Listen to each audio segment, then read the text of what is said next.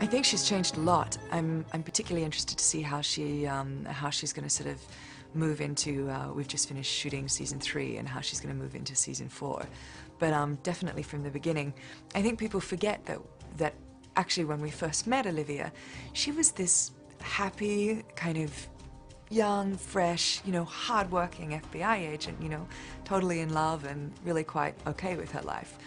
And it's only since all of these fringe events and all of these memories from her past and, you know, all this other stuff sort of came up that she got more and more and more and more and more and more kind of like weighed down by life generally.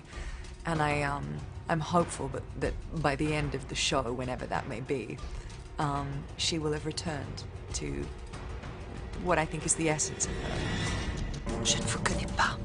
Quoi qu'on vous ait raconté, je ne suis pas votre Olivia Dunham.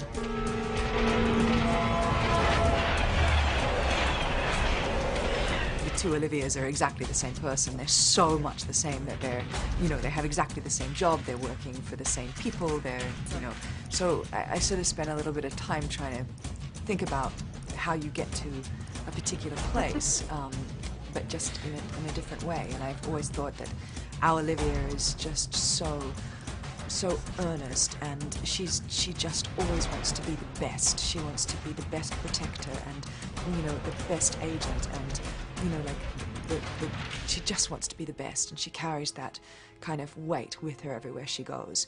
Whereas i think um, the alternate olivia wants to win. Like she just wants to win. And she's like come on let's go. There's there's she's competitive and she's kind of like she's like a fighter pilot. And i can sort of you can see how they would end up in the same job in the same place and pretty kind of similar, but with just like a little bit of a different edge to them both.